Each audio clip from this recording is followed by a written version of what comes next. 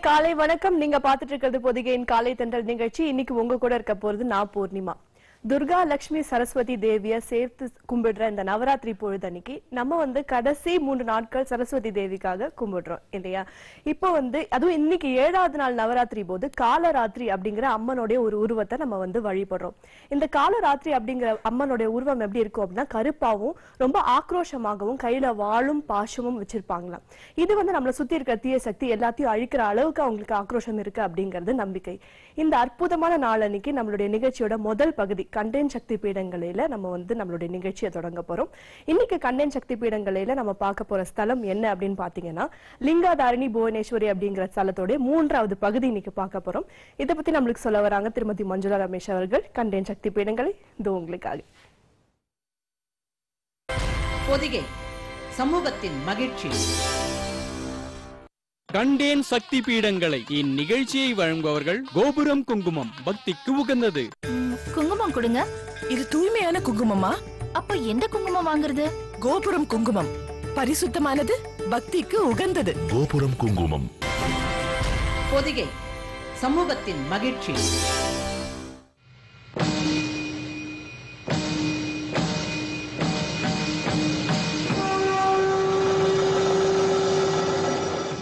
யக்ஷினி கோவிலிலே ஒவ்வொருவருக்கும் ஒவ்வொரு அலங்காரம் என்பது இருப்பது போல ஒவ்வொரு தேவிக்கும் பெயர் என்பது இருக்கும் அல்லவா?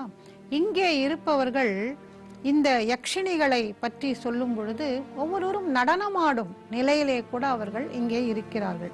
இவர்களுடைய பெயராக அஜிதா கருடபுத்ரி பாயுவீணா சண்டிகா இப்படி ஒவ்வொருவருக்கும் ஒவ்வொரு அழகிய பெயரை இந்த தேவதைகளுக்கு இவர்கள் சொல்கிறார்கள். அப்படி காண வேண்டிய அற்புதமான ஒரு அழகு கோவில் இந்த ஹிராபூரிலே இருக்கின்ற யக்ஷினி கோவில் என்று சொல்லலாம்.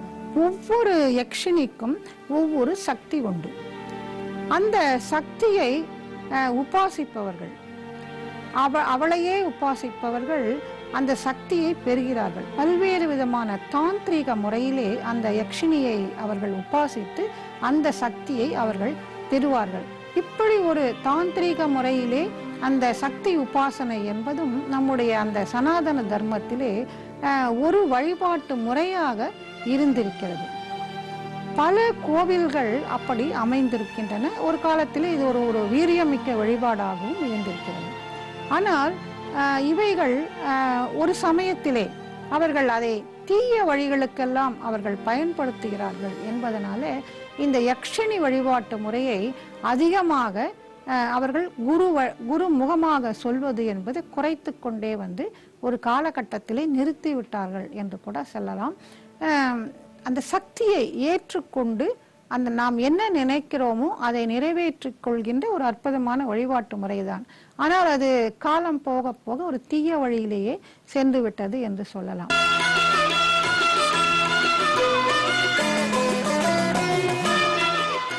அதனால் என்ன ஆகுனது என்று சொன்னால் அந்த யக்ஷனி வழிபாடு என்பது குறைந்து இன்றைக்கு நம்முடைய பாரத தேசத்திலே இரண்டு இடங்களிலே மட்டும்தான் இந்த யக்ஷினிகளுக்கான கோவில்கள் என்பது அமைந்திருக்கிறது. அபூர்வமான இந்த இரண்டு கோவில்களிலே ஒன்று இங்கே இந்த ஒடிசாவிலே புவனேஸ்வருக்கு அருகிலே இருக்கின்ற ஹிராப்பூர் கோவில். இது பார்வதி தேவி லிங்கதாரியினுடைய பீட்டமாக அமைந்திருக்கிறது. அதனால நாம அந்த இடத்திற்கும் சென்று நாம அங்கேயும் இந்த ஒரு அற்புதமான வித்தியாசமான வழிபாட்டு முறையை நாம காண வேண்டும். நாம் அந்த ஹிராப்பூர் என்கின்ற அந்த ஒரு சிறிய கிராமத்திற்கு சென்றால் ஒரு மிக பரந்த வெளியிலே வட்ட வடிவமான கோவிலாக அந்த கோவில் அமைந்திருக்கிறது. அதற்கு மேற்கூரை என்று எதுவும் கிடையாது. ஒரு சிறிய நுழைவாயில் மட்டும் இருக்கும். அந்த சிறிய நுழைவாயிலுக்குள்ளேயே நாம் தலையை குனிந்துதான் உள்ளே செல்ல வேண்டும். செல்லும் பொழுதே நாம் பணிந்து செல்வதாக அங்கே அந்த கோவில் அமைந்திருக்கும். அதற்குள்ளே சென்றால் போன உடனேயே நாம் பிரமித்து தான் போய்விட வேண்டும். ஏனென்றால் மி மிகச்சரியாக மிக அற்புதமாக வட்ட வடிவமாக அந்த கோவில் அமைந்திருக்கிறது. அந்த வட்ட வடிவத்திற்குள்ளே ஒவ்வொரு இடத்திலேயும் ஒவ்வொரு யக்ஷினி தேவி அமைத்திருக்கிறார்கள். யக்ஷினி என்று சொன்னாலே தேவதை என்று சொன்னாலே அழகுதான் இல்லையா? அழகு வாய்ந்தவளாக ஒவ்வொரு அங்கே யக்ஷினியும் அங்கே அமைந்திருக்கிறாள்.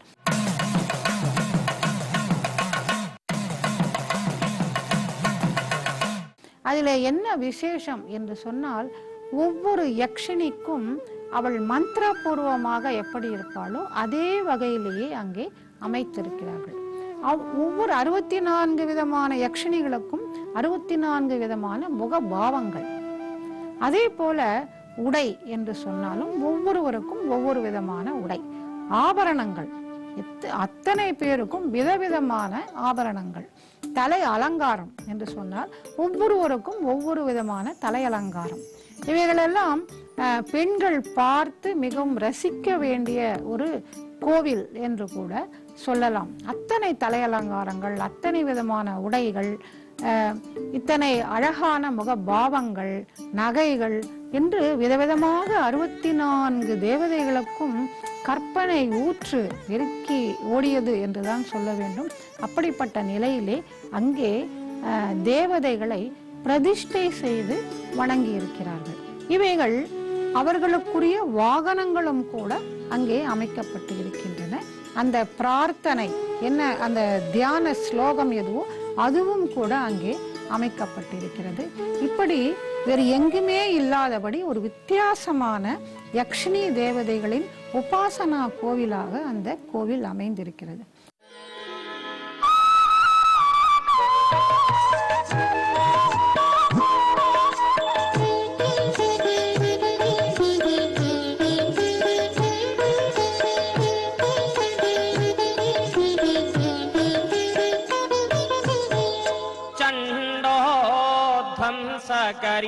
महान अनाधारी श्री केसरी शेखर।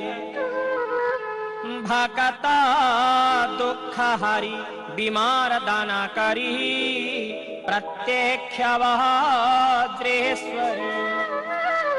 हुङ्कारं विकटा कंकाल जी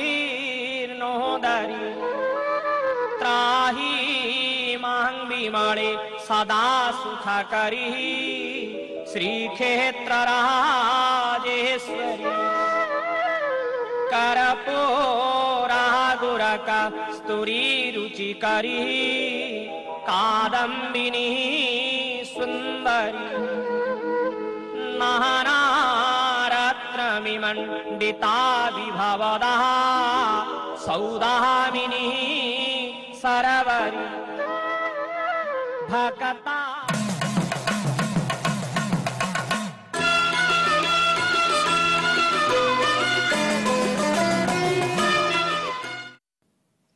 நாற்பத்தி நாலாவது ஸ்லோகம் ஓம் ஸ்ரீ லகாரமாத்திருகா பீடரூபிணி ஓம் லம் लम्भोष्ठी देवी मोहिनी देव्यै नमः ॐ लात्मिका मोहिनी देवी स्वर्णाभा गजसिंहका षड्भुजाङ्कुश शूलासी खेटधानाभयान्विता ஓம்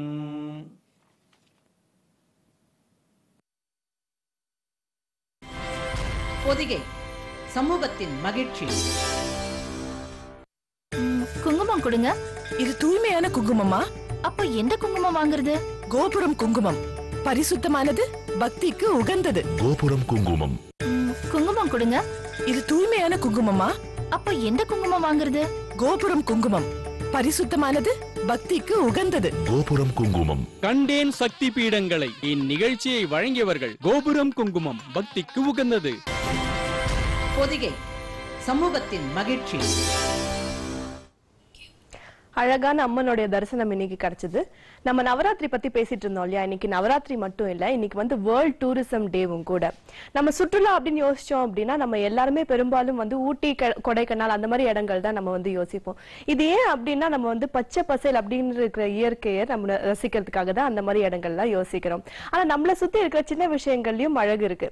அந்த வகையில நம்ம வந்து வையகமே வானகமே நம்மளுடைய அடுத்த பகுதி. அதுல வந்து காக்கையை பத்தி பார்க்க போறோம். இந்த காக்கையை பத்தி சொல்ல வராரு கோவை சதாசிவம் அவர்கள். காக்கையை பத்தி நம்மளுக்கு தெரிஞ்சுக்கிறதுக்கு அப்படி என்னதான் இருக்கு அப்படின்னு போய் பார்ப்போமா? பொதிகை சமூகத்தின் மகிழ்ச்சி. குங்குமம் கொடுங்க. இது தூய்மையான குங்குமமா? அப்ப எந்த குங்குமம் வாங்குறது? கோபுரம் குங்குமம். பரிசுத்தமானது பக்திக்கு உகந்தது. கோபுரம் குங்குமம்.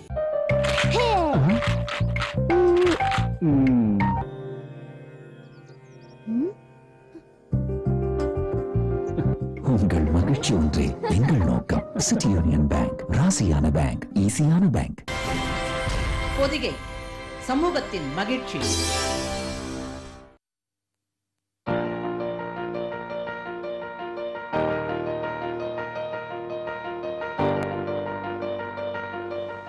புதிய தொலைக்காட்சி நேயர்களுக்கு என் அன்பான பசுமை வணக்கம்.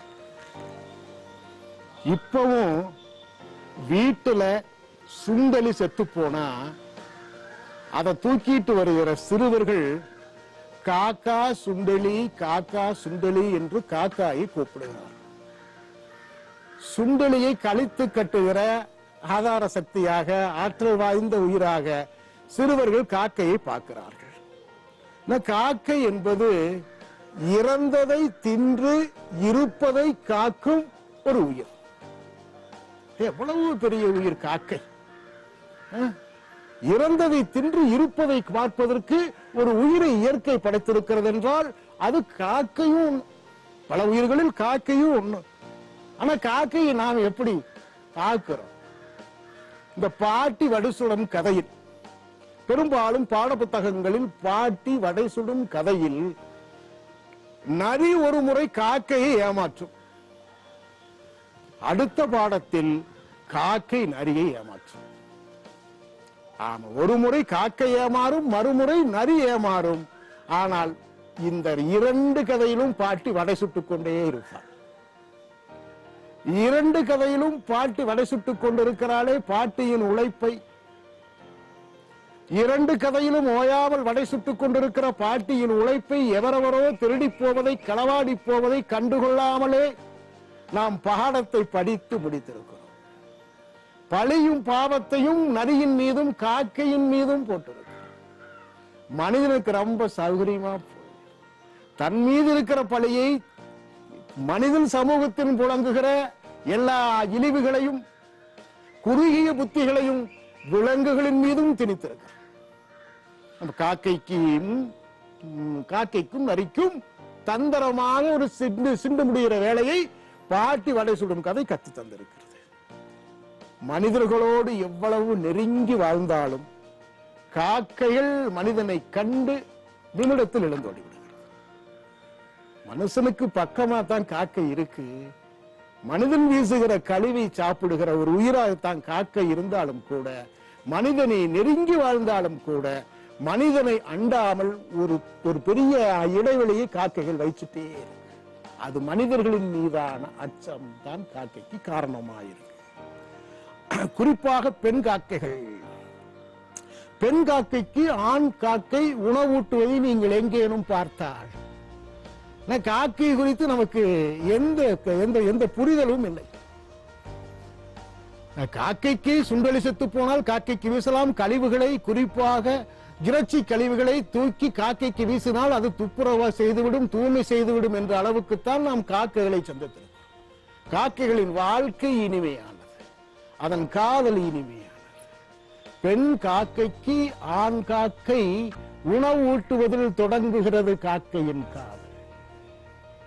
அது அங்க தொடங்கி கூட்டில் அடையிருக்கும் போது கூட ஒரு ஆண் காக்கை பெண் காக்கைக்கு இரவேடி போய் ஊட்டுவதை பறவை ஆய்வாளர்கள் பார்த்து பதிவு செய்திருக்கிறார்கள். இப்போ நம்ம காக்கை மீது நமக்கு என்ன பார்வை? மனிதர்கள் வீசுகிற கழுவி சாப்பிடுகிறதுன்னு ஒண்ணு. இன்னொன்னு அது கண்ணங்கரேன்னு இருக்குது. நமக்கு இந்த கருப்பா இருக்கிற ஒண்ணு பிடிக்கும். கருப்பா இருந்தாவே அது இழிவாக இருக்கும் என்று. அதுபோல் கருப்பாக இருந்து கொண்டு கழிவுகளை சாப்பிடுகிறது என்று காக்கைக்கு இன்னொரு பெயர். ஆகத்தான் காக்கைகளின் மீது எந்த கரிசனம் இல்லாமல் இந்த மனித குலம் வாழ்ந்து காக்கை மீது நமக்கு எந்த கரிசனமும் இல்லை. இப்போ காக்கை அதனாலதான் நம்மளே பழமொழியை கண்டுபிடிக்கிறோம். காக்கைக்கு தன்குஞ்சு பொன்குஞ்சு பொன் குஞ்சு. நமக்கு காக்கை பிடிக்காது. அது கண்ணங்கரேர்னு இருக்கு. கிறக்கு கிறக்குன்னு கத்துது. நமக்கு காக்கை பிடிக்காது. ஆனா காக்கை பெற்றெடுத்த குஞ்சு காக்கைக்கு பிடிக்குமல்ல. ஆக காக்கைக்கு தன் குஞ்சு பொன் குஞ்சு. நமக்கு அது எந்த விதமான பொருட்டும் இல்லை என்கிற பழமொழிகள் நம்மோடு புழங்குகிறது. வேடிக்கையாக ஒரு கதையை சொல்லுவார்கள். ஒரு காக்கையும் கிளியும் பேசிக் கொள்ளுகிற சின்ன கதை அது. மரத்தில் காக்கை அமர்ந்திருக்கிறது அருகாமையில் கிளி அமர்ந்திருக்கிறது கிளி காக்கையை பார்த்து கேட்கிறது என்ன காக்கையே நீ இவ்வளவு கருப்பாக இருக்கிறாய். என்னை பார் நான் எவ்வளவு வண்ணமயமாக இருக்கிறேன். என் மேனியில் ஐந்து விதமான வண்ணங்கள் இருப்பதால் எனக்கு பஞ்சவர்ணம் என்று பெயர். உன்னை பார்த்தால் பரிதாபமாக இருக்கிறது. உன் தோற்றத்தை பார்த்து நான் அருவருப்படைகிறேன். இயற்கை இப்படியுமா ஒரு உயிரை படைக்கும் என்று ஏளனம் செய்கிறது? காக்கையை கிளி. இப்படி ஏளனம் செய்து கொண்டிருக்கும் போதே ஒரு வேடன் கிளியை பிடித்து விடுகிறான். காக்கை எவனும் பிடித்து காக்கை குஞ்சுகளை வீட்டில் வளர்ப்பார் இல்லை. கிளி வளர்க்கிற பழக்கம் நம்ம இடத்துல இருக்கிறது. அவன் கிளியை கொண்டு வந்து ஒரு வீட்டிலே வளர்க்கிறான். வளர்க்கவன் சும்மா இல்ல கத்து கொடுக்கிறான். அங்கிலுக்கு குட் மார்னிங் சொல்லுன்னு கத்து கொடுக்கிறான். கிளியை பிடித்து கொண்டு வந்து கிளியை வீட்டிலே ஒரு கூட்டில் அடைத்து கொண்டு அதுக்கு சிலதெல்லாம் கொடுத்துட்டு அங்கிலுக்கு குட் மார்னிங் சொல்லுன்னு சொல்லி தர்றான். கிளிக்கு வருத்தமாக இருக்கிறது. இவனே தாய்மொழியை ஒழுங்காக சொல்லவில்லை. மாமாவுக்கு வணக்கம் சொல் என்று கற்றுக் கொடுத்தால் கூட பரவாயில்லை. அங்கிலுக்கு குட் மார்னிங் சொல்லு என்று இன்னொரு மொழியை கற்றுத் தருகிறானே. இவன் தாய்மொழி தெரியாத என்னை இவன் மொழி கற்றுத் தருகிறானே என்று கிளிக்கு சங்கடம் வருத்தம் கோபம் எல்லாம் இருக்கு. இருந்தும் என்ன பண்ண? நம்ம சிக்கிட்டுமே மனுஷங்கிட்ட. இவன் சொல்ற ஒன்று ரெண்டு வார்த்தையை சொல்லாம போனா நமக்கு சோறு கிடைக்காதுன்னு நினைச்சு கிளியும் சொல்லி பழகுது. தானா சொல்லி பழகிட்டு இருக்குது uncle good morning uncle good மார்னிங்னு சொல்லி பழகிட்டு இருக்கும் போது காக்கை வந்து பக்கத்தால உட்காருது. என்ன சொல்லிட்டு இருக்கேன்னு மனுஷன் எனக்கு ஒரு மொழி கத்து கொடுத்துருக்கிறா அதை பழகிட்டு இருக்கிறேன்னு சொல்லுச்சு. காக்கை சிரிச்சுட்டே சொல்லுச்சு மனிதர்கள் அவர்கள் மொழியை உனக்கு கற்றுத் தருகிறார்கள் என்னை பார் மனிதர்கள் என் மொழியோடு தான் பேசுவார் எப்பவும் என்னை கூப்பிடுகிற போது நான் எப்படி கத்துகிறேனோ கா கானு கத்துறேனோ அது மாதிரி மனிதர்கள் அவர்களின் தேவைக்கு என்னை கூப்பிடுகிற போது என் மொழியில் கூப்பிடுகிறார்கள். காக்கா காக்கான்னு கத்துவானாம். சிறுவர்கள் சொன்னாங்க காக்கா சுண்டலி காக்கா சுண்டலி என்று காக்கையின் மொழியில் எனது தாய் மொழியில் மனிதர்களை பேச வைத்தவன் நான். நீ மனிதர்கள் பேசும் மொழியை கற்றுக்கொண்டிருக்கிறாய். இயற்கை எனக்கு கொடுத்திருக்கிற மிகப்பெரிய அந்த உன்னதம் மிகப்பெரிய மரியாதை மிகப்பெரிய மகத்துவம் எல்லாம் என் மொழியை என்னை பேச வைத்திருப்பது. என் மொழியை பிறர் பேச வைத்திருப்பது. ஆக இயற்கையின் படைப்பில் எல்லாம் சமந்தான். கருப்பும் வண்ணமும் இயற்கைக்கு சமந்தான். மனிதர்களுக்கு அது வேறுபாடு. ஆக நாம் ரெண்டும் ஒண்ணுதான். உன்னுடைய மொழியை நீ பேசுன்னு காக்கை சொல்வதாக அந்த கதை முடிகிறது. அப்ப காக்கை வெறும் கதை தானா முடியுதுன்னா காக்கை போல் இயற்கைக்கு பங்களிக்கிற ஒரு மிக முக்கியமான பறவை காக்கை. என்ன பங்களிக்குதுன்னா காக்கை தன் வாழ்நாளில் அதுவும் பதினேழு ஆண்டு காலம் வாழ்வதாக பறவை ஆய்வாளர்கள் சொல்லுகிற காக்கை தன் வாழ்நாளில் பல்லாயிரக்கணக்கான மரங்களை வானம் பார்த்த பூமியில் நட்டு வைக்கிறது என்பதுதான் காக்கை இந்த பூவளவுக்கு செய்கிற மகத்தான பணி. ஆக தூய்மையாளனை பார்த்து பசுமையாளனை பார்த்து நாம் கண்ணங்கரேர் என்று காக்கை என்று ஏளனம் செய்ய வேண்டியதில்லை. காக்கை பசுமைக்கு செய்கிற பரப்பை காக்கை பசுமைக்கு செய்கிற பங்களிப்பை கண்டு வியந்து காக்கையை பின்தொடர்வோம்.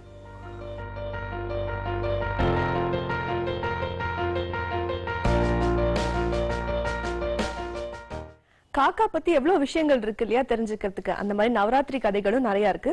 உதாரணத்துக்கு வந்து சும்மன் சும்பன் நிசும்பன் அப்படின்னு ரெண்டு அரக்கர்கள் வந்து ரத்த பீஜன் அப்படிங்கிற ஒரு அசுரனை அமிச்சாங்களாம். தேவிக்கு எதிர்த்து போரிடவும். தேவியும் வந்து என்ன செஞ்சாங்களாம் அவங்களுடைய உருவமான இந்த காலராத்திரி அம்மனை அமிச்சாங்களாம் போரிடுறதுக்கு. அப்போ என்னாச்சு? இந்த ரத்த பீஜன் சிந்துற ஒரு ஒரு துளி ரத்தமும் இன்னொரு அரக்கனா மாறி ரொம்ப வந்து கொடுமைப்படுத்தினாங்களாம். அப்போ வந்து அம்மன் என்ன செஞ்சாங்க அப்படின்னா அவனுடைய ரத்தம் எல்லாத்தையும் உறிஞ்சி குடிச்சு அந்த அசுரனை அழிச்சிட்டாங்களாம். இந்த மாதிரி நிறைய கதைகள் நம்மளுடைய தமிழ் கலாச்சாரம் வரலாறு எல்லாத்துலயும் இருக்கு தெரிஞ்சுக்கிறதுக்கு. அதை பத்தி நம்மளுடைய அடுத்த பகுதியான தமிழ் விருந்துல தெரிஞ்சுக்க போறோம். இதை பத்தி சொல்ல வராங்க பேராசிரியர் முனைவர் திரு கு. ஞானசம்பந்தன் ஐயா அவர்கள். இன்னைக்கு என்ன பார்க்க போறோம் அப்படின்னு போய் பார்த்துடலாம் தமிழ் விருந்துல. பொதிகை சமூகத்தின் மகிழ்ச்சி. குங்குமம் கொடுங்க. இது தூய்மையான குங்குமமா? அப்போ எந்த குங்குமம் வாங்குறது? கோபுரம் குங்குமம். பரிசுத்தமானது பக்திக்கு உகந்தது. கோபுரம் குங்குமம். பொதிகை சமூகத்தின் மகிழ்ச்சி. பொதிகை தொலைக்காட்சி நேயர்களுக்கு என் இனிய வணக்கம். தமிழ் விருந்து நிகழ்ச்சியில் நல்ல செய்திகளை சொல்கிறதுக்கான வாய்ப்பு எனக்கு கிடைச்சிருப்பது போல கேட்டவர்களும் நல்லா பாராட்டுறீங்க. இதை ஒவ்வொரு நாளும் சொல்லணுமா அப்படின்னா ஒவ்வொரு நாளும் இல்லைங்க. ஒவ்வொரு நாளும் கேட்குறவங்க சொல்கிறத தான் நான் திருப்பி சொல்கிறேன் இன்றைக்கி என்ன விருந்தில்? ஸ்பெஷல் ஐட்டம் என்ன அப்படின்னு கேட்போம் இல்லையா? நான் ஒரு தடவை மதுரையில் பார்த்தேன். ஒரு பெரிய ஹோட்டல் வாசலில் ஒரு போர்டு இன்றைய ஸ்பெஷல் சைக்கிளை எதிர்ப்புறம் நிறுத்தவும் அப்படின்னு போட்டிருந்தாங்க. ஏடா இப்படி ஒரு ஸ்வீட்டாக இருக்க போகுது அப்படின்னு ஏன்னா சைக்கிளில் போகிற வாசல் நிப்பாட்டிருப்பாங்க போட்டிருக்கு அதுக்காக அந்த அதில் போர்டு போட்டிருந்தாங்க. அது வந்து தகவல் பலகை ஆக்கிவிட்டான் அவன் இன்றைய ஸ்பெஷலில் போய். இன்றைக்கி என்ன அப்படின்னா தமிழுக்கும் நம்ம கடவுளுக்கும் என்ன சம்பந்தம்? மற்ற மொழிகளை பற்றி நமக்கு தெரியாது. மற்ற மொழிகள் அந்தந்த மக்கள் பேசுறது. நம்ம மொழி மட்டும் என்ன தெரியுங்களா?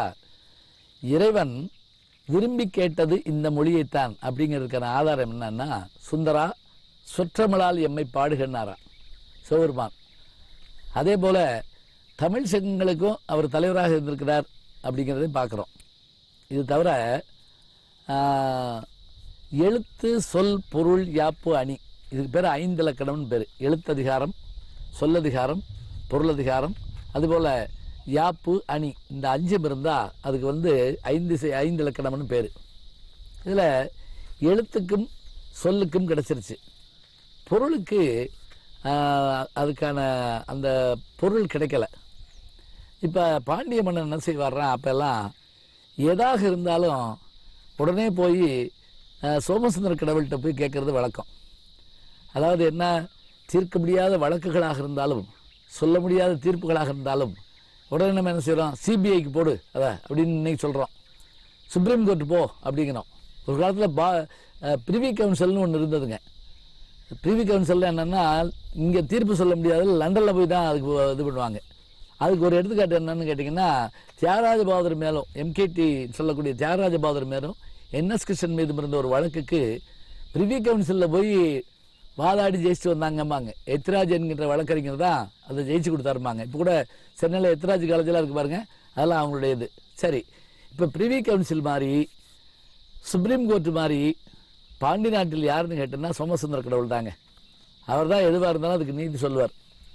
இப்படி பொருள் இதுக்கு வந்து நம்முடைய நல்ல பாடல்கள் நல்ல உரை இல்லையே அப்படின்னு பாண்டிய மன்னன் கவலைப்பட்ட உடனே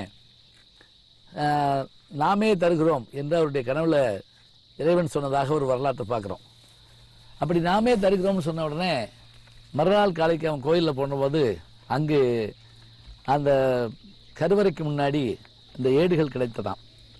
அதுதான் இறையனார் அகப்பொருள் உரை என்கின்ற இந்த இறையனார் அகப்பொருள் செய்த அந்த பாடல் கலவை அந்த ப- அவருடைய பேர் இறையனார் கீழே போட்டிருக்குது. எப்படி?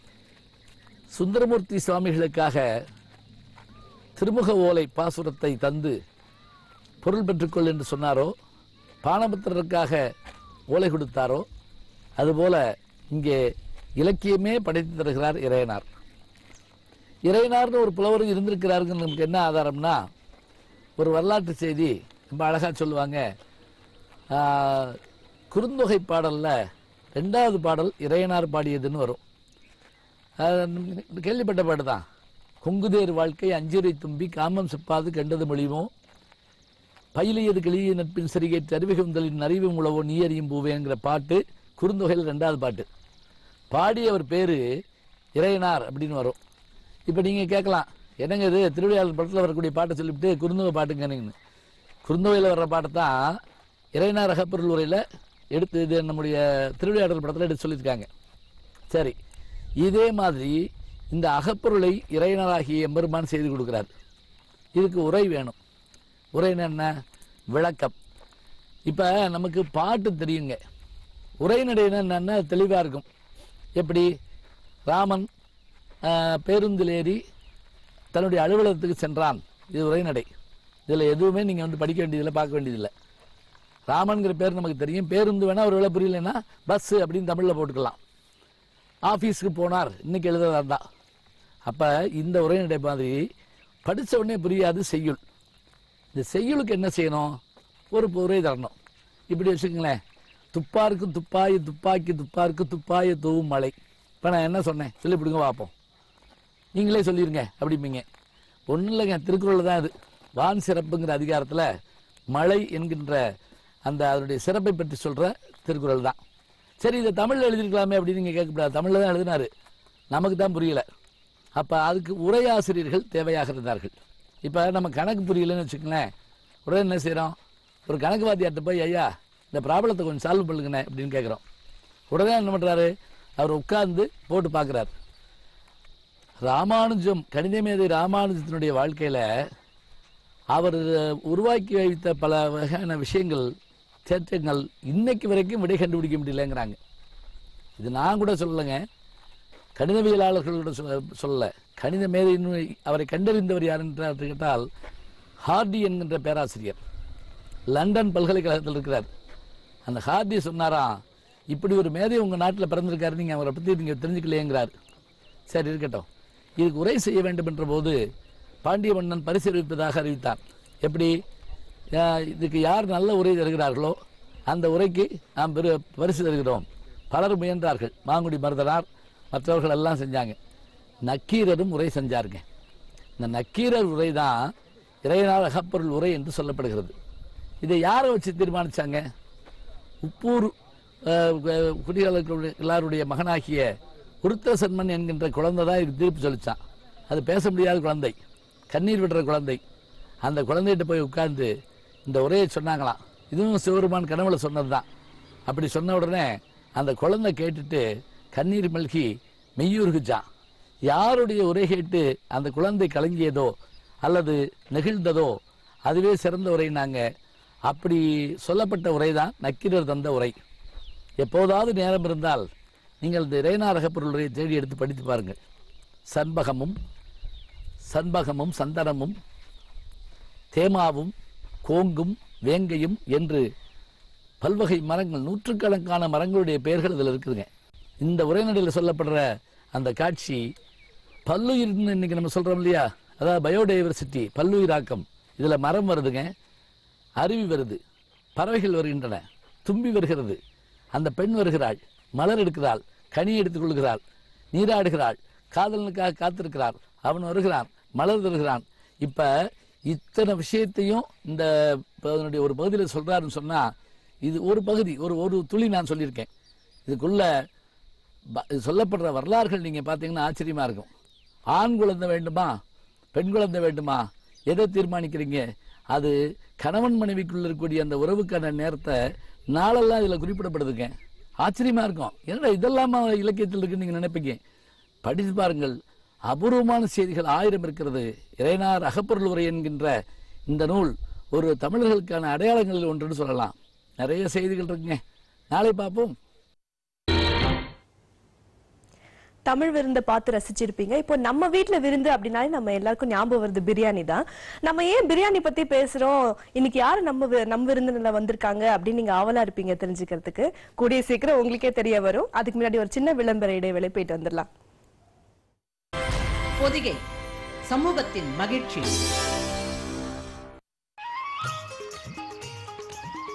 அம்மா அம்மா உங்ககிட்ட ஆதார் இருக்கு அப்பா கிட்டயும் இருக்கு ஆனா என் கிட்ட மட்டும் ஏன் இல்ல? என்ன நீ இன்னும் சின்ன குழந்தை. டீச்சர் சொன்னாங்க எனக்கும் ஆதார் இருக்கணும் அப்புறம் தங்கச்சிக்கும் இருக்கணும். ஆமாம் சின்ன குழந்தைகளுக்கும் கூட ஆதார் பெற முடியும். இதற்காக ஆதார் மையம் ஸ்கூல் அல்லது ஆங்கன்வாடியில் போடப்படும் முகாம்களுக்கு செல்லுங்கள். இதற்கு கட்டணம் கிடையாது. எனது குழந்தையின் தொடக்கம் எனது ஆதார் எனது அடையாளம். பொதிகை சமூகத்தின் மகிழ்ச்சி. இன்னைக்கு நம்ம நிகழ்ச்சியில நம் விருந்தினர் பகுதியில் நம்ம சந்திக்க போறது யாரு அப்படின்னா சேலம் ஆர்ஆர் பிரியாணி உணவகத்தோட உரிமையாளர் திரு தமிழ்செல்வன் அவர்கள். வணக்கம் சார். உங்களை சந்திச்சதுல எங்களுக்கு ரொம்ப சந்தோஷம் இன்னைக்கு. உங்களை பத்தி தெரிஞ்சுக்கணும் அப்படின்னு எல்லாருக்குமே ரொம்ப ஆவலா இருக்கும் எங்களுக்கு எல்லாம் அதனால உங்களுடைய பள்ளி காலம் உங்களுடைய ஆரம்ப காலம் பத்தி எங்களுக்கு சொல்லுங்களேன். ரொம்ப கஷ்டம். சொல்லணும்னா நான் கஷ்டம் இல்லாமல் எதுவும் கிடைக்காது. அந்த கஷ்டம் தான் என் வாழ்க்கையை இந்த அளவுக்கு வழி நடத்தியிருக்கோன்னு கூட அதுவும் ஒரு பாடமாக தான் நான் எடுத்துக்குவேன். அந்த கஷ்டங்களை படம்லாம் அந்த அனுபவங்கள் எப்படி கிடைச்சிருக்குங்கிறது அதுவும் ஒரு முக்கியமான விஷயம் இல்லைங்களா? ஆமா ஒரு கண்டிப்பா டாக்டருக்கு படிக்கிறவங்க இன்ஜினியருக்கு படிக்கிறவங்க எல்லாருமே அவங்க யூகேஜி எல்கேஜில இருந்து அப்படி போய் எத்தனையோ ஆண்டுகளை கல்லூரிகள் இழந்து தான் ஒரு துறைக்கு வராங்க அவங்க. கண்டிப்பா. ஒரு மருத்துவர் ஆக முடியுது ஒரு இன்ஜினியர் முடியுது. அப்போ என் கஷ்டங்களை வந்து நான் கஷ்டமா நினைக்கல. ஏன் நான் இன்னைக்கு வெற்றி படிக்கட்டு அடைந்ததுக்கு எனக்கு அது ஒரு படிப்பனையா இருந்திருக்குது. ஓ. அப்படிதான் நான் எடுத்துக்கிட்டேன். நான் ஜெயிச்சேன். என் கஷ்டங்களையே நான் ஜெயிச்சேன். அந்த கஷ்டங்கள் இல்லைன்னு தான் நான் எப்படி இருந்திருப்போங்கிறது இப்ப என்னால கணிக்க முடியாது. யோசிக்கவே முடியல? யோசிக்க முடியல. க- கஷ்டம் தான் படிப்பு ஸ்கூல் படிப்பு. சின்ன வயசுல அம்மா தவறிட்டாங்க. அம்மா தவறின வேதனையில் அப்பா கொஞ்சம் இன்சல்ட் ஆயிட்டாரு. அது எங்களை பராமரிக்க முடியல. உள்ளூர்லயே ஒரு கூலி தொழில் ஒரு பன்னெண்டு பதினோரு வயசுலயே செய்ய வேண்டிய நிர்பந்தம் எனக்கு ஏற்பட்டுச்சு உள்ளூர்லயே ஒரு ஏதோ ஒரு ஹோட்டல் உணவகத்திலே செய்ய வேண்டிய நிலை வந்தது. அந்த வயசுல ஹோட்டல்ல என்ன வேலை செய்ய முடியும்? ஏதோ கிளினிக் வேலை அந்த மாதிரி. சொந்த பந்தங்கள் முன்னாடி எனக்கு செய்யறதுக்கு கொஞ்சம் கஷ்டமா இருந்துச்சு. படிச்சுட்டு இருந்த ஒரு சிறுவன் தன்னுடைய சொந்த பூமியிலேயே அது கிராமத்துல பிறந்த மண்ணிலேயே அப்ப ஒரு மாமன் மச்சான் அப்படி வராங்க போறாங்கன்னா அவங்க சாப்பிட்ட ஒரு இலையை நம்ம எடுக்கணும் ஒரு கிளாஸை கழுவுங்கிறது ரொம்ப என் மனசுக்கு ரொம்ப கஷ்டமா இருந்துச்சு. இது இங்க செய்யறத விட தாய் இழந்த வேட்டி வந்தவரை வாழ வைக்கணும் தமிழகமாச்சு ஏன் நம்மள வாழ வைக்காது. சரி இந்த திசையில கொஞ்சம் வறட்சி. சென்னைன்னு ஒரு திசை இருக்குதுல்ல. ஆமா. போனா பிழைக்கலாமோ? அப்படின்னு வந்த பறவை தான் இது ஓ சேலம்ல இருந்து அப்போ சென்னைக்கு வந்தீங்க. ஆமா சென்னைக்கு வந்தேன். எப்போ சென்னைக்கு வந்தீங்க? ஆயிரத்தி தொள்ளாயிரத்தி எண்பத்தி மூணு. வா அப்போல இருந்து நீங்க வந்து சென்னையில தான் இருக்கீங்க. ஓகே சோ அப்புறம் சென்னைக்கு வந்து உங்களுக்கு வந்து எப்படி உங்களுடைய உணவகம் ஆரம்பிக்கணும் அப்படிங்கிற எண்ணம் வந்துச்சு? உணவுமா? வயிற்றுக்கு உணவு கிடையாது. உணவை தேங்க ஆரம்பிக்கிறது. அப்போ உங்களுடைய பயணம் எப்படி ஆரம்பிச்சது? எப்படியாவது ஒரு வேளை சாப்பாடு கிடைக்கணுமாங்கிறத முதல் திட்டம். சென்னையில வந்து இறங்கணும்னு சென்னைக்கு வந்துட்டோம். சென்னையில என்ன செய்ய போறோம்னு தெரியாது. உள்ளூர்ல உணவகத்துல வேலை செஞ்ச வாசியே அந்த வேலையை தாண்டி வேற ஏதாவது செய்யலாமே? அப்படிங்கிற ஒரு தன்மானத்துக்காக நான் வந்து சென்னையில் வந்த வெட்டி சந்திச்ச ஒரு ரிக்ஷாக்காரர் எங்கப்பா போகணும்னு கேட்டார் என்ன? எங்க போறது நமக்கு சென்னையில் யாரை தெரியும்? ஏதாவது வேலை வேணுங்க அந்த மாதிரி ஊரை விட்டு வந்துட்டேன் கஷ்டத்துல. ரொம்ப பசிக்குதுன்னு எனக்கு ஒரு டம்ளர் பாயாசம் வாங்கி கொடுத்தார். நான் சென்னையில் சாப்பிட்ட முத உணவு அதனாலேயே வாழ்க்கை முழுவதும் இனிப்பாவே போயிட்டு இருக்குது. ரொம்ப அழகா சொன்னீங்க. ஆமா. சோ முதல் உணவு பாயாசம். பாயாசம். அதுக்கப்புறம் அந்த வெல்லம் எங்க போச்சு? பாயாசம் பாயாசம் இருக்கு என்னன்னு தெரியல. வெல்லம் போட்டு தேங்காய் பூலாம் போட்டு ஏலக்காய் போட்டு நல்லா கண்ணாடி டம்ளர்ல கொடுப்பாங்க. அவர் வாங்கி கொடுத்தார் முன்ன சாப்பிடுப்பான்னு. நான் யாருன்னு அவருக்கு தெரியாது. அவரும் ஒரு கூலி தொழிலாளி. கொடுத்தாரு இல்லைங்களா? அப்பதான் அதை சாப்பிட்டு நான் நினைச்சேன். இந்த சென்னையில உனக்கு ஒரு வாய்ப்பு கிடைச்சதுன்னா இப்படி கொடுத்தே வாழ்ந்துருக்கு ஓ. ஆனா அந்த உணவுக்கே நான் தலைவனா வரும்னு நான் நினைச்சும் பார்க்கல. அதனாலயே எனக்கு அந்த இனிப்பு எனக்கு வந்து என் வாழ்க்கையை எந்த அளவுக்கு நினைவில் வச்சிருக்குதுங்கிறத நீங்க இப்ப பார்த்துட்டு நேரில் பார்த்துட்டு இருப்பாங்க. கண்டிப்பா. எனக்கு அதுவும் ஒரு காரணமா கூட இருக்க முடியும் இந்த துறைக்கு நான் வரதுக்கு ம். அப்படி இருக்கும்போது ஒரு அப்போ கொத்தாச்சு அப்படிங்கிற பகுதி. ஏதாவது கடையில் ஹோட்டலில் வேலை சேர்த்து விடமாட்டா இல்லைங்க ஹோட்டல் வேலை பிடிக்காம தான் நான் இவ்வளோ தூரம் வந்துட்டேன். வேற ஏதாவது ஒரு தொழில் இருந்தால் நல்லா இருக்கும் எதிர்காலத்துக்கு. அப்படிங்கும்போது என்ன செய்வேன் இந்த வயசுல? சின்ன பையனாகிற அப்படின்னு சொன்னார். இல்லைங்க ஏதாவது ஒரு காய்கறி மண்டியில் வேலைக்கு சேர்த்து விடுங்க. அப்போ கூட்டி போய் கோயம்பேட்டில் விட்டாங்க இது கோயம்பேடுங்கிறது இப்போ அப்போ கொத்தாச்சொடி. ஆ. ஃபாரிமுனை பகுதியில். அப்போ இந்த லெமன் மூட்டை மல்லி புதினா இந்த மாதிரி சின்ன சின்ன மூட்டைகள்லாம் நான் தூக்குவேன். அதில் எட்டினா நல்லா கிடைக்கும். அன்றாட பசி ஏதோ உதவும் கொஞ்சம். இருந்தாலும் சின்ன வயசு சாப்பாட்டுக்கு எனக்கு அது போதுமானதா இல்லை. அப்படி அந்த கூலி வேலைகளை செஞ்சுட்டு வாழை மண்டியில் வாழைக்காய்கள்லாம் இறஞ்சி கிடக்கும். அந்த வாழெல்லாம் அடுக்கி வச்சுட்டு அந்த இறந்து போன வாழைக்காய்களை எடுத்து ஒரு தள்ளுண்டி ஒருத்தர்கிட்ட வாடகை அஞ்சு ரூபாய்க்கு வாங்கி அதில் அடுக்கி தள்ளி வியாபாரம் பண்ணி பார்த்தேன். அது என்னுடைய உயரமும் சின்ன வயசு இந்த பாயிண்ட் என்ன நல்லா இருக்கும்னு நினைச்சிருவாங்க பொழுது. ஏன்னா எப்போ என்ன வித்தவனுக்கு முடி நிறைய இருக்கும்னு நினைப்பாங்க நம்ம மக்கள். வெள்ளையா இருக்கிறவங்க போய் சொல்ல மாட்டாங்கிற மாதிரி. இது எதுவுமே அந்த அந்த உடல் அமைப்பை சார்ந்து இப்போ மறையாடுறோம்னா அது ரொம்ப கட்டு முட்டை மீச கட்டு முஸ்டான்னா தான் ஒரு மறையேறுவார் அப்படிங்கிற நான் பாட்டில் தவிர என்னை தாண்டி போய் எல்லாம் வாங்கிட்டு இருப்பாங்க. சரிதான் சரி ஏதோ ஒரு விலை. நம்மளுக்கு இந்த வியாபாரம் அப்படிதான் நினச்சி. அந்த மாலை நேரத்துக்கு கொஞ்சம் ஓடும். மாலை நேரத்தில் த கையேந்தி போன்னு நம்ம சொல்கிறோம் தள்ளுவண்டின்னு சொல்கிறோம் சாப்பிட போவேன் சாப்பிட போகும்போது அந்த தள்ளுவண்டியில் இருக்கிற அவர் உழைச்சிட்டு இருப்பார் அந்த கடை உரிமையாளர். சுற்றி நின்று மக்கள் சாப்பிடுவாங்க. நானும் அதில் வெயிட்டிங்கில் ஒரு ஆள். காசு குறைவாக தான் இருக்கும். காசு குறைவாக இருக்குது. சரி அவரே தட்டு எடுப்பார் அவரே இட்லி ஊற்றிக்குவார் அவரே காசு வாங்கி போடுவார். நம்ம சின்ன ஹெல்ப் பண்ணனா ஒரு அவரே தான் நமக்கும் ஒரு உதவியாக இருப்பாருங்கிற எண்ணத்தில் ஒரு சுயநாள் தான் ரெண்டு இட்லி கூட கிடைக்காதான்னு அவருக்கு ஹெல்ப் பண்ணுவேன். ஃபர்ஸ்ட் சாப்பிட மாட்டேன் தள்ளுவண்டியில். ம். ஹெல்ப் பண்ணும்போது கொஞ்சம் ஹெல்ப் பண்ணிட்டா எனக்கு நாலு இட்லினா ஒரு அஞ்சாறு இட்லி ரெண்டு இட்லி கூட வச்சு கொடுப்பாரு. சாப்பிட்டேன். இப்படி பார்க்கும்போது அந்த தள்ளுவண்டி வாழ்க்கையை பார்க்கும்போது சாப்பாட்டுக்கும் கஷ்டம். என்ன தொழில் தான் செஞ்சா நம்ம முன்னுக்கு வர முடியும் போது எனக்கு அந்த தள்ளுவண்டியில் சாப்பிடுவோம் அது உதித்தது எனக்கு. ஓ. இப்படி ஒரு தள்ளுவண்டி போட்டால் எப்படி இருக்கும் அப்படின்னு. பிடிக்கும் பட்சத்தில் ஏன் நண்பன் ஒருத்தன் தள்ளுவண்டி ஏற்கனவே போட்டு லாசா நிலைமையில் இருக்கும்போது என்னை அழைகிறாரு என்னை பார்க்க வரும்போது. நண்பர்னா எல்லாம் கூட்டிகிட்டு இருப்போம்ல. கல்லூரியில் உள்ள நண்பர்கள் இருக்கிறாங்க. ஒவ்வொரு பணி செய்யற இடத்துலயும் நண்பர்கள் இருப்பாங்க இல்லையா? கண்டிப்பா. நான் மார்க்கெட்ல வேலை செஞ்சாலும் சுத்தியும் தள்ளுவண்டி ஹோட்டல் நடத்துறவங்க கூலி தொழிலாளிங்க. அவர் ஒரு நண்பர் தள்ளுவண்டி போட்டு கஷ்டப்படும் போது நீயும் வந்து அது உதவியா இருக்குமே? நீ நல்லா நான் கொஞ்சம் பேச்சுள்ள பிள்ளைன்னு சொல்லுவாங்க. அவ்வளவு தூரம் வந்து இல்லைன்னா சென்னையில நம்ம பிழைக்க முடியுமா முடியாது இல்லையா? கண்டிப்பா. அது உங்க முன்னாடி உட்கார முடியாது இல்லையா? ஐயோ அது பொதுகை முன்னாடி வர முடியாது இல்லையா? அது உங்க பெருந்தன்மைன்னு சொல்லலாம் நாங்க. ஏன்னா அதெல்லாம் நம்ம வெற்றி அடையாளங்கள். அப்படி இருக்கும்போது அந்த தள்ளுவண்டியில் போய் உண்மையிலே நான் இம்ப்ரூவ்மெண்ட் பண்ணி கொடுத்தேன். ஒரு சர்வீஸ் எப்படி பண்ணணும்? என்ன அன்பு கனிவு சுத்தம். தன்னை பற்றியே சிந்திக்காம எதிர்மொழியில் செய்கிற வேலைக்கு எவ்வளவு முக்கியத்துவம் கொடுக்குறங்கிறது தான் நம்ம வெற்றி அமைஞ்சிருக்குது. கண்டிப்பா. வெற்றிங்கிறது நம்மளை காப்பாத்திக்கிற விஷயம் கிடையாது. வெற்றிங்கிறது நீ ஈடுபடுற விஷயம் இருக்கு இல்லைங்களா? அதை ஜெயிக்க வைக்கணும். கண்டிப்பா. நீங்க சொல்றது ரொம்ப உண்மை. எதை செய்றீங்களோ அதை ஜெயிக்கிறதுக்கே நீ போராடிட்டு இருக்கணும். ஆமா. நீ ஒரு வாழ்வீச்சுனா கூட உன் மேல கத்தி போடுன்னு நினைக்கக்கூடாது. எதிரி எப்படி வீழ்வான்னு பார்க்கணும். கரெக்ட் நீங்க சொல்றது ரொம்ப என்ன காத்துக்கிறன்ட்டு இப்படி கத்தி வச்சுட்டு இருந்தா. செய்யற தொழில் அப்படிதாங்க. நமக்கு என்ன நீ சிந்திக்கவே கூடாது. அந்த தொழிலை செதுக்கிக்கிட்டே இருக்கணும். அது எதுவாக இருக்கட்டும் நீ கொடுக்குற ஒரு உணவாக இருக்கட்டும் எந்த ஒரு உதவிகளாக இருக்கட்டும் அதுல கனிவு அன்பு உண்மை மென்மையான விஷயங்கள். அந்த தள்ளுவண்டியிலே நான் அந்த அளவு சிறப்பா பண்ணேன். முதல்ல அதுதான் முக்கியம் இல்லையா? எல்லாரும் என்ன பாப்பாங்க அப்படின்னா முதல்ல நீங்க ஆனா. தள்ளுவண்டியில் நான் கூலி தொழிலாளி தான். அது. புரிஞ்சுக்கணும். ஆமா. கூலி தொழிலாளி. எனக்கு நாற்பது ரூபா சம்பளம் மாலை நேரத்துல. பெரிய சம்பளம் அது அந்த காலத்துல. ஆமா. ஆமா. அது மிகப்பெரிய சம்பளம். அதை வாங்கி எனக்கு என்ன பண்ணணும் தெரியாது. நிறைய ட்ரெஸ் வாங்கி வச்சுக்கோ எனக்கு அந்த நீட் அது சுத்தம் எனக்கு ரொம்ப பிடிக்கும். நாளைக்கு ரெண்டு மூணு முறை குளிப்பேன். இந்த மாதிரிலாம் இன்னைக்கு பங்களாவில் குளிக்கிற மாதிரி இல்லை. காப்பேசின பாத்ரூமில் தான் குளிக்கணும். ரெண்டு ரூபா மூணு ரூபா வாங்கிட்டு கூலி தொழிலாளிங்களாம் அந்த கோயம்புத்தூர் இதில் கொத்தாச்சாவடியில் குளிச்சுக்குவாங்க. அதில் தான் குளிச்சுக்குவோம். சோப்பு சாம்பிள் சோப்பு மடிச்சு வச்சுக்குவோம். கொஞ்சம் பவுடர் கொட்டி பேப்பரில் மடிச்சு வச்சுக்குவோம். எங்கள் மேக்கப் ஓ. ஆமாம் நீட்னஸ் ட்ரெஸ்ஸை மாட்டிக்கிட்டு ஒரு தகர டப்பா பெட்டி இருக்கும். அது எங்கேயாவது ஒன்று மேலே ஒன்று அடுக்கி வச்சிருப்போம் கும்பலோட கும்பலா. இப்படிதான் எங்க வாழ்க்கை போயிட்டு இருந்தது. அந்த தள்ளுவண்டி வாங்குறதுக்கு எவ்வளவு பணம் தேவைப்படும் நம்ம சொந்தமா வைக்கணும். ஆமா. சோ அவங்களுக்கு அந்த தள்ளு வண்டியில இருக்கிற வியாபாரத்தை பார்த்ததும் உங்களுக்கு. நம்ம வைக்கணும் அப்படிங்கிற ஒரு எண்ணம். ஆசை வந்துருச்சு. அதுக்கு வைக்கிறதுக்கு ஒரு தள்ளுவண்டி ரெண்டாயிரத்தி ஐநூறுரூவா அந்த காலத்துல ரெண்டாயிரத்தி நானூறுபா அபிராமி தேட்டருக்கு பின்புறம் புரசவாக்கத்துல இருக்கும். ஓ.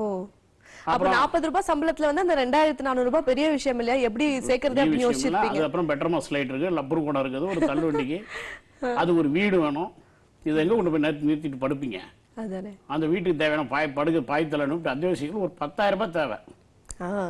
இதுக்கு மட்டுமே ஒரு ஒரு ஏழு எட்டு ஆண்டுகளை நான் கழிச்சிருக்கேன். அந்த பத்தாயிரத்தை சேர்த்துறது. அந்த பத்தாயிரம் ரூபாய் சேர்க்கறதுக்கு எனக்கு ஒரு சினிமா பார்த்தது கிடையாது. ஆசை இருக்கும். பார்க்கணும் சினிமா பிடிக்காம இல்ல.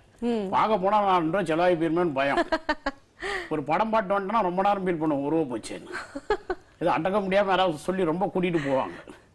போயிட்டு வந்து அந்த காசை பார்ப்போம். ஒரு ரூபா சம்பாதிக்கணும். எவ்வளவு நேரம் ஆகும். அதுதாங்க வெற்றி. எனக்கு சின்ன வயசுல இப்ப நினைச்சு பார்க்கறாது. அந்த வயசுல கூட நம்ம தப்பு பண்ணிட்டோமோ நினைச்சேன். நீ அதை பண்ணாத வயசு தான் அந்த நிலைமைக்கு வந்திருக்கிறோம் ம். இப்ப எல்லாரும் வாழ்க்கையில முன்னுக்கு வர்றதுக்கு இவங்க எனக்கு உதவி பண்ணல அவங்க உதவி பண்ணல. இவங்க பண்ண இப்படி நம்ம நினைச்சிருந்தா? அதானே. நம்ம முன்னே இருக்கவே முடியாது இல்லையா? முடியாது இல்லையா? இந்த கஷ்டம் நான் ஆரம்ப வரியில சொன்னேன்ல. ஆ. அந்த கஷ்டம் தான் இந்த வெற்றி எனக்கு கொடுத்துருக்குதுன்னு. கண்டிப்பா. அந்த கஷ்டத்தை நான் படிக்கலனா இன்னைக்கு எங்க தாய் தந்தை நல்லா இருந்தோம் அண்ணன் தம்பி நல்லா இருந்திருந்தோ இவன் என்ன செஞ்சான் எனக்கு? எங்க அப்பா என்ன செஞ்சாரு? எங்க அம்மா என்ன கொடுத்தாங்க? இப்படி எல்லாம் நான் பேசிட்டு வாழ்ந்திருப்பேன்? ஆமா. ஏமா உங்களோட கஷ்டத்தினால தான் நீங்க வந்து சுய தொழில் செஞ்சு நீங்க முன்னுக்கு. வரணும். எப்பவுமே நமக்கு என்ன செய்துங்கிறத நம்ம நம்ம கிட்ட இருக்கிற தொழில் அதை செஞ்சு கத்து அதில் உழைக்க கத்துக்கிட்டா நம்மளை வீழ்த்துறதுக்கு நம்மளை வீழ்த்திக்கிறதுக்கு நம்மளாவே தான் இருக்க முடியுமே தவிர. அதுக்கு ஒரு சக்தி பிறந்திருக்கிறத நான் நம்பவே மாட்டேன். சூப்பர் அழகா சொன்னீங்க. ஆமா. இந்த தள்ளுவண்டிக்கு அடுத்தது என்ன பண்ணீங்க? தள்ளுவண்டி வச்சு அதுக்கப்புறமா என்ன நிறைய கதைகள் இருக்கு. இருக்கிற குறுகிய காலத்துல. ஒரு கிட்டத்தட்ட இப்ப முப்பது ஆண்டுகள்ல முப்பது ஆண்டு வரை பேசிட்டு வரோம் நம்ம. பத்து ஆண்டுகள் முடிஞ்சு போச்சு அதுக்குள்ள. பத்தாண்டு ஆமா. பத்தாண்டுகளை தள்ளிட்டோம். இருக்கிற கஷ்டங்களை விடுவோம். அந்த தள்ளுவண்டியிலிருந்து அது ஸ்டெப் அதை நல்லா சிறப்பா பண்ணும்போது பாசுமதி டபுள் டி பாசுமதி ரைஸ்ங்கிறத ஒன்று நான் தான் தள்ளுவண்டியில கொண்டு வந்தேன். ஒரு தரமான உணவே மக்களுக்கு கொடுக்க முடியாது. கண்டிப்பா. அப்படிங்கிறத கொண்டு வந்தேன். முத முத கூடாஞ்சேரியில் நான் போய் கடை போட்டேன். அதுக்கு முன்னாடி சில பேர்கிட்ட அந்த அந்த தொழிலை கற்றுக்கிறதுக்கு பணி புரிஞ்சிருக்கிறேன். ஓ. கற்றுக்கணும் இல்லையா அது எப்படி? அதில் என்ன டெக்னாலஜி பார்க்கணும்ல நான். அதில் பார்த்து அதில் நன்மை தீமைகள் என்ன கெடுதல் என்ன ஃபில்டர் பண்ணி எதை கொடுத்தா அவங்களுக்கு அஜின் உறுப்புகள் டூரிஸ்ட் பிளேஸில் கடை நடத்தல. ஒரு ஊருக்கு மத்தியில் நடத்துகிறோம் ஆமா. அன்றாடம் வந்து சாப்பிட்றவங்க தான் நம்மகிட்ட வருவாங்க. அவங்களுக்கு வயிற்றுக்கோ ஒரு உடலுக்கோ சிறு தேங்க இருக்காமல் இருக்க என்னென்ன மாதிரி பொருள்களை பிரியாணியில் கொடுக்கணும்? அது அளவு முறைகள் என்ன? இயற்கை முறைகள் என்ன? நம்ம தான் தமிழனாச்சே ம். சித்த எங்க ஆட்டம் நம்ம பாட்டம் பாட்டெல்லாம் சித்தனுக்கு தானே? இந்த பிரியாணியில் நம்ம பிரியாணியில் என்னென்ன பண்ணணும் எந்த வகையான மூலிகைகளை அதிகம் கொடுக்கணும்? அதுல இருக்கிற ரெண்டு பொருள் கொழுப்பு சார்ந்தது. ஒண்ணு அதுல இருக்கிற கறி. சிக்கனோ மட்டனோ. அதுல கொழுப்பு ரைஸ். அதுல இருக்கு. இப்போ இது ரெண்டுக்கு எதிரான ஒரு விஷயத்தை உள்ள கொடுக்கணும். ஒரு மெடிசனாவே உள்ள கொடுக்கணும். அவங்களும் பாரசீகத்துல எகிப்துல அந்த பிரியாணி கண்டுபிடிச்சவங்க சாதாரணமானவங்களா இருந்திருக்க முடியாது. ஏன்னா நீங்க அந்த சிக்கன் மட்டன் ரெண்டை தாண்டி நீங்க இருக்கிற பொருட்கள் எல்லாம் பாத்தீங்களா எல்லாமே ஒரு மூலிகை தான் இருக்கு உள்ள. தான் விஷயம் இருக்கு. மறந்துட்டேன். ஆயில் அதை ஊத்துறோம். அந்த காலத்துல நெய்யில பண்ணிட்டு இருந்தாங்க. அந்த காலத்துல நெய்யில சாப்பிட்டு உழைப்பு இருந்தது. மன்னர் சாப்பிட்டு ஒரு பாஞ்சு கிலோ கத்தி எடுத்து குதிரையை போய் சண்டை போடுவாரு. இப்பெல்லாம் சாப்பிட்டு பெஞ்ச் கார்ல போயிட்டு வரோம் பிரியாணி. நெய் சாப்பிட்டா அந்த அளவுக்கு உடல் உழைப்பு இல்லை. ஆமா. உடற்பயிற்சி உடல் உழைப்பு இல்லை. அது என்னையும் சேர்த்தான் அப்படி உழைச்சோன்னீங்க நான் அப்படி இருக்கேன்? முன்னாடி உழைச்சிட்டு பின்னாடி நல்லா இருக்குன்னு பெரியவங்க சொல்ற மாதிரி. முன்னாடி அப்படி ஒளி உழைச்சிட்டு இப்ப பின்னாடி நல்லா இருக்கிறதுக்கு இப்படி ஆகி போச்சு உடம்பு. சோ என்ன பண்ணீங்க அந்த பிரியாணில வித்தியாசமா? வித்தியாசம் இல்லை என்னன்னா அந்த அரிசி ஆயில் கறி இந்த மூணு விஷயங்கள் இதுல உடம்புக்கு கொஞ்சம் நன்மைகள் இருந்தாலும் தீமைகள் அதுல நிறைஞ்சிருக்கு.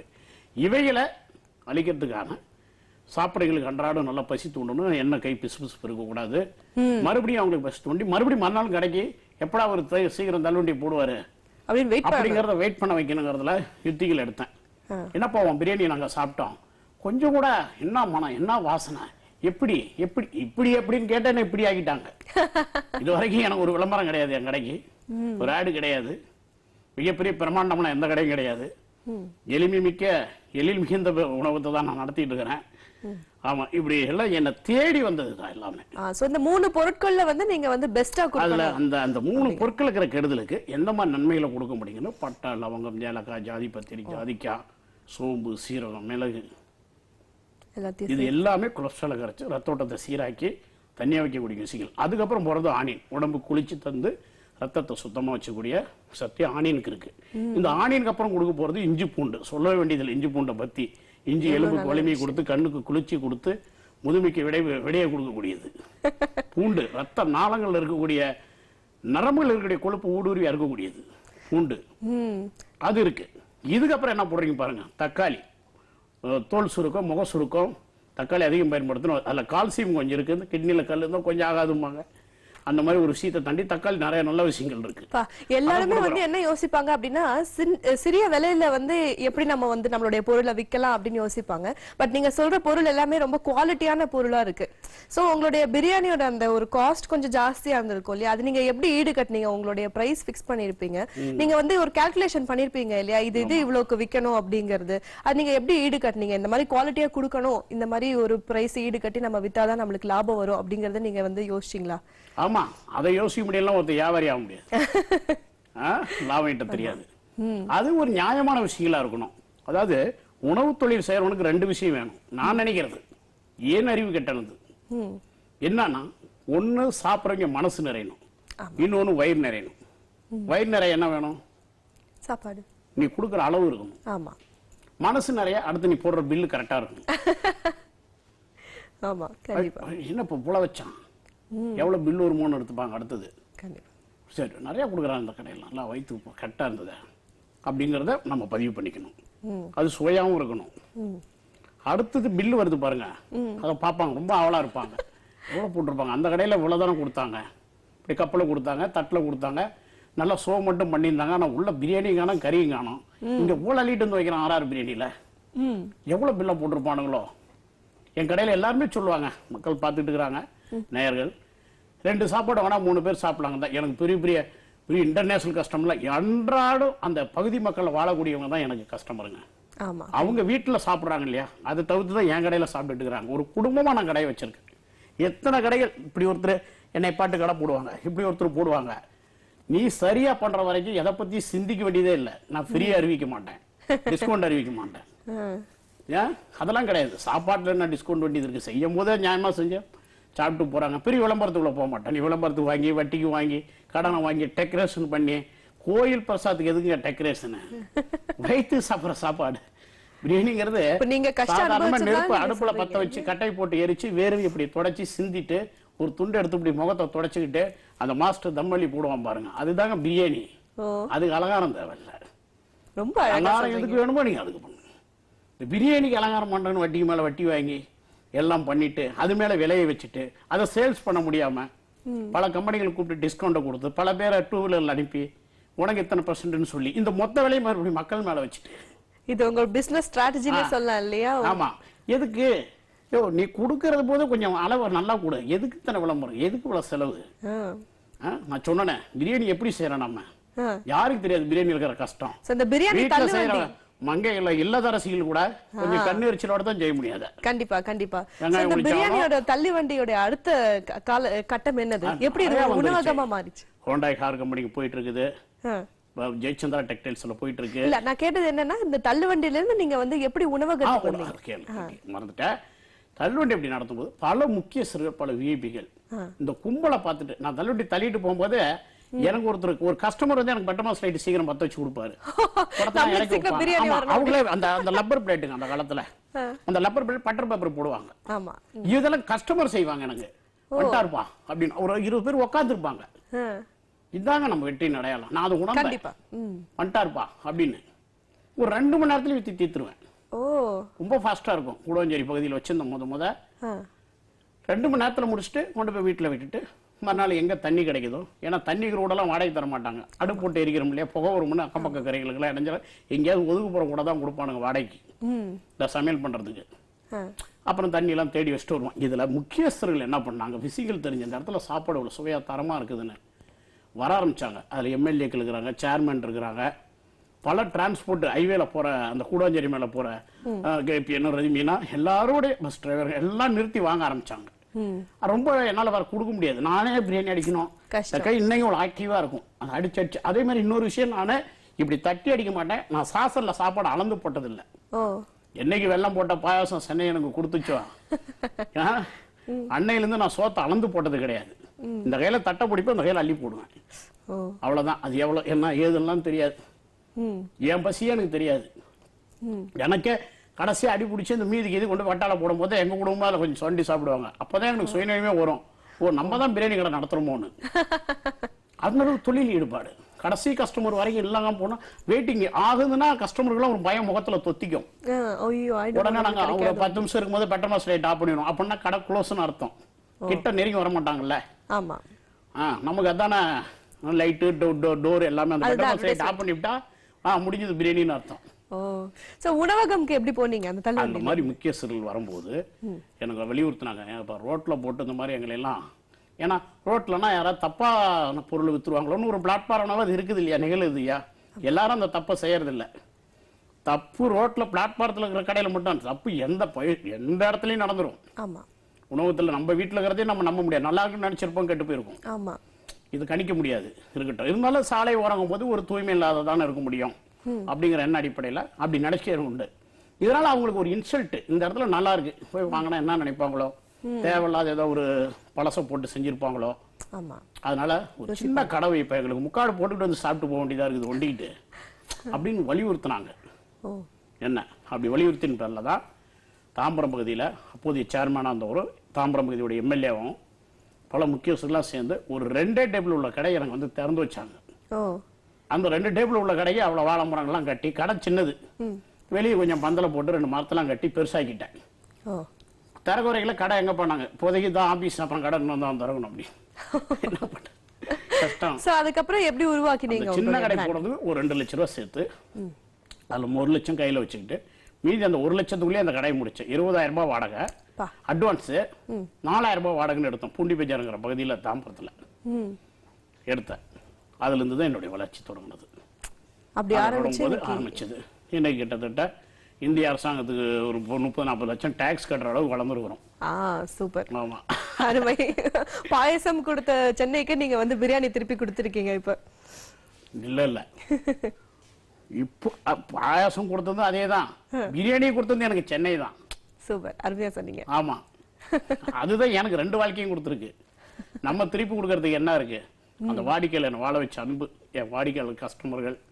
அவங்க தான் எனக்கு ஒரு தெய்வமா இருந்து என்னை வழி நடத்துறது அவங்க தாங்க. என் கஸ்டமர்ஸ் இருக்காங்கல்ல எதை பத்தியுமே எனக்கு சொல்லுவாங்க. உனக்கு எதுக்கு தமிழ் செல்வம்பாங்க.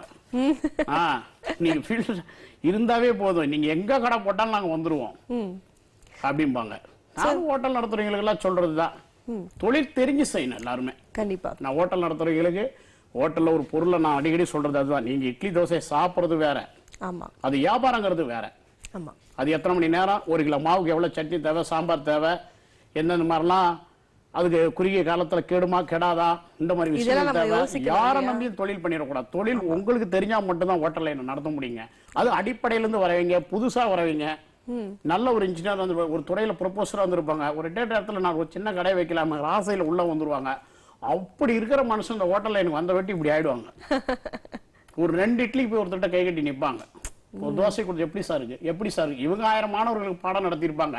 ஆமா. ஆ, நீட்ரா கையை நடிச்சிருப்பாங்க? என்ன ஹெட்மாஸ்டர் வராருன்னா அப்படி அந்த ஹெட்மாஸ்டர் இந்த ஹோட்டல் எனக்கு வந்துட்டாருன்னு வைங்க. தோசை நல்லா இருந்ததா சட்னி நல்லதா எப்ப நீ இருந்துச்சு இவரு குழந்தை மாதிரி ஆயிடுவோம் இவரு மத்தவங்களும் அதிகாரி மாதிரி ஆயிடுவாங்க அங்க. தொழில் வந்து ரொம்ப கடினமான தொழில். இருக்கிற தொழிலையே நீங்க காலையிலேயே சந்தைக்கு போய் மார்க்கெட்டுக்கு போய் பர்ச்சேசிங் பண்ணி அன்றைக்கு சமைச்சு அது சூடாகிறதுக்கு முன்னாடி விற்பனை பண்ணி அன்றைக்கே கணக்கு பார்க்கக்கூடிய ஒரு தொழில். அது சேதாரமிக்க ஒரு தொழில் அது. ரொம்ப வேஸ்டேஜ் இருக்கும். அந்த தொழில்ல இருக்கிற ரொம்ப கடினம். சாதாரணவங்களாம் வந்து ஜெயிக்க முடியாது. இன்னைக்கு சென்னையில நடந்த கடைகளோட மூடான கடைகள் தான் அதிகம். இன்னைக்கு சென்னையில் நான்வெஜ் ஹோட்டல்லாம் விரலுட்டு எண்ணலாம். எத்தனை பேர் லீடர் இருக்காங்க? மிகப்பெரிய ஒரு இன்டர்நேஷனல் சிட்டி சென்னை. இதுல நீங்க பேர் சொல்றபடி. இருக்கிற நீங்க நல்லா பிராஞ்சஸ் பாருங்க. எத்தனை பேர் பிரியாணில இருக்கிறாங்க நானூறு பேர் ஆகுறாங்க. இருநூறு கடை இருக்கா. மொத்தமே இருபது கடைக்குள்ள தான் இருக்கும். அது நான் அதிகமா சொல்றேன்னு நினைக்கிறேன். வர முடியாதுங்க. கண்டிப்பா. சோ. இந்த உழைப்பு பத்தி தெரிஞ்சாதான் தொழில் பத்தி தெரிஞ்சாதான் அதே நிலை. முடியும் சில பேர் குறிப்பிட்ட நண்பர்கள் தான் இருக்கிறாங்க. கண்டிப்பா. நீங்க சொல்றது ரொம்ப. உண்மை. இதுல நிறைய திறந்து திறந்து மூடுறாங்க. எனக்கு வலிக்குது. ஒருத்தர் ஒரு ஒரு ஒரு கோடி போட்டு கடை திறந்திருக்காங்க. அது பத்து லட்சத்துக்கு எனக்கு பொருள் வருது. ஏன்னா அதுலயே பிறந்தவங்க. நிறைய லாஸ் சந்திக்கிறாங்க ஹோட்டல் தொழில்ல. ஆமா. சோ அந்த தொழில் பத்தி ஒழுங்கா தெரிஞ்சுக்கிட்டு தான் நம்ம உள்ள போக முடியும் இல்லையா? ஆமா. அதுதான் நானே நினைக்கிறேன். சரி இனிமே பிராஞ்சஸ் கொடுத்துட்டு. ஒரு ஃபேக்டரி அமைச்சிட்டு. நம்மளே ஒரு பத்து முப்பது நூறு கடையை நடத்துறதோட நூறு கடைகள் நடத்துறதுக்கு நானே ஒரு கிளாஸ் எடுக்கலாம்னு இருக்கேன். இதுக்கு ஒரு இது ஆரம்பிக்கலாம்னு இருக்கேன். அதுதான் உங்களுடைய அடுத்த முதலாளிங்க எப்படி அதாவது வேலைக்காரன் எப்படி உருவாகணும் தொழில் எப்படி செய்யணுங்கிறதுக்கு தான் காலம் இருந்திருக்குது. ஆமா. ஒரு முதலாளிங்க எப்படி உருவானுங்கிறதுக்கு ஏட்டு மூலமா பல புக்குகளை படிக்கிறாங்க. ஆனா ஒரு முதலாளி எப்படி உருவாக்கணுங்கிறதுக்கு நானே ஒரு கல்வி நிறுவனம் தொடங்கிடலான் இருக்கேன். என் அனுபவம் தான் கல்வி. கண்டிப்பா. இந்த முப்பது வருஷத்துல நிறைய நீங்க வந்து சம்பவங்கள்லாம் பார்த்திருப்பீங்க. நிறைய பேர் பிரபலமானவங்க உங்களுடைய பிரியாணியை சாப்பிட்டு வந்து ஏதாவது சொல்லியிருப்பாங்க. அந்த மாதிரி விஷயங்கள்லாம் எங்களுக்கு பகிர்ந்துக்கோங்களேன். எண்ணிக்கையிலே கிடையாது. வெளியே தான் தெரியாதே தவிர. நான் அடைஞ்ச ஒரு அந்த புகழுக்கும். அந்த இன்பத்துக்கும் அளவே கிடையாது. ஆமா. இயக்குனரையுமே இவங்க ஐயா பாரதிராஜால இருந்து ஆ. கவி பேரரசு ஐயா வைரமுத்து ஐயோ இப்படிலாம் பாரு ஒரு வான்கோழி பிரியாணி எங்க கவிஞர் ஐயாவுக்கு செஞ்சேன். இன்னையா வான்கோழிங்கன்றாரு சாப்பிட்டுருக்காரு மூணு பார்சல் ஓ கவிஞரை போன் பண்ணாரு. உன் குணத்தோடு சேர்த்து அந்த சுவையும் அந்த மனமும். அது தெரியுமா கவிஞர் எப்படி சொல்லுவார். இருப்பாரு கொஞ்சம் உடம்பு அவருடைய. பாஷையில அழகா சொல்லியிருப்பாரு ஏமா நானே இப்படி சாப்பிட்டேன் தான் நீ இப்படி சாப்பிட்டு சாப்பிட்டு இப்படி ஆயிட்டேன் பாரு ஆமா அந்த மாதிரி இயக்குனர் கிட்ட பாகிராஜ் சாரு. செல்லுமணி சாரு கலை உலகத்துல நிறைய அரசியல் பிரமுகர்கள். எல்லாருக்குமே நான் பண்ணியிருக்கேன். நான் குறிப்பிட்டு சொன்னா அதுக்கு ஏதாவது ஒரு புள்ளி வச்சிருவாங்களோன்னு பயம் பயம் இல்லை எனக்கு. பயப்பட மாட்டேன் நானு. சினிமால உங்களுக்கு இன்ட்ரெஸ்ட் இருக்கு அப்படின்னு எனக்கு தெரியுது. உணவகத்தை தவிர உங்களுக்கு என்ன பண்றீங்க இல்ல? சினிமால இன்ட்ரெஸ்ட் இல்லாத ஒரு கலையார்வம் இருந்தா எல்லாருக்குமே அது இருக்கும். அது இருந்த பருவம் காலங்கள் வேற. அது முடியாதுங்கிறத நான் உணர்ந்துகிட்டேன். உனக்கு எது சரிப்படும்? அந்த வயசோட அதை விட்டுட்டேன். இப்போ இந்த கேட்டரிங்ல நான் தொடர்ந்து இந்த ஆர்டர்கள் நான் இந்த நிர்வாகம் நடத்தும் போது வர விஐபிகள் ஃப்ரெண்ட்ஷிப் இயக்குனர் ரம்யா சொன்னாரு. என்னடா அப்படி ஒரு ஆளா இருக்கிற. உன்னைய பார் அப்படின்ட்டு ஒரு ரெண்டு மூணு படத்துல நடிக்க வச்சிட்டு இருக்காரு ஓ படத்துல? நடிக்கிறீங்க. ஆமா. வேண்டாங்க. ஒரு படத்துல நம்ம கடலூர் கவிதை ரேகா எனக்கு மனைவியா நடிச்சிருக்காங்க.